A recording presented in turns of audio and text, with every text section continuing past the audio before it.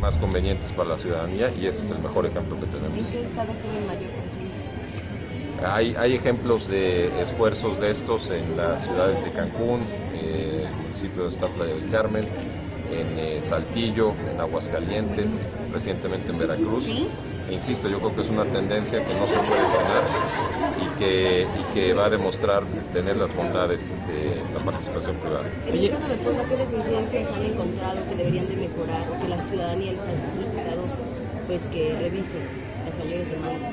Mira, la, la- la asignatura todavía es bastante extensa. Estamos encontrando necesidades de mayor cobertura, necesidades de, de reducir el tandeo o llegar a proveer agua continua. Pero pues eso lleva mucho tiempo, lleva planeación y es justamente lo que ha venido enfocando el equipo. ¿Hay interés de expandirse a otros municipios? No por el momento, ahorita es un enfoque que tenemos en este e, e insisto, tenemos mucho tarea, muchos trabajos por hacer hacia adelante. ¿Qué es su nombre? Alberto Pérez Jacome, ¿Qué cargo tiene? eh, soy director. Gracias.